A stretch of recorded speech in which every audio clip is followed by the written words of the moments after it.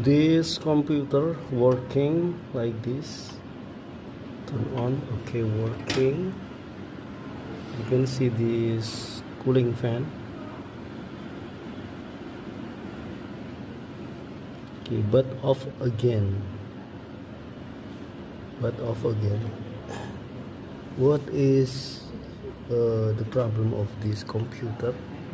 Okay first step remove this 12 volt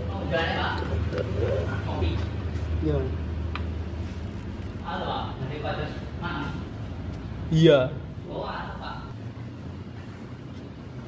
And then try to turn on again. And what's this uh, processor cooling fan. Okay.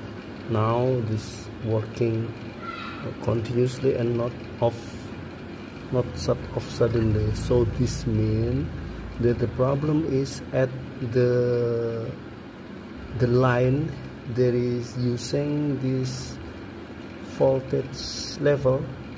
This is when uh, 12 volt and usually caused by the problem of the component at the VCC core the line that supplying the power source of this processor.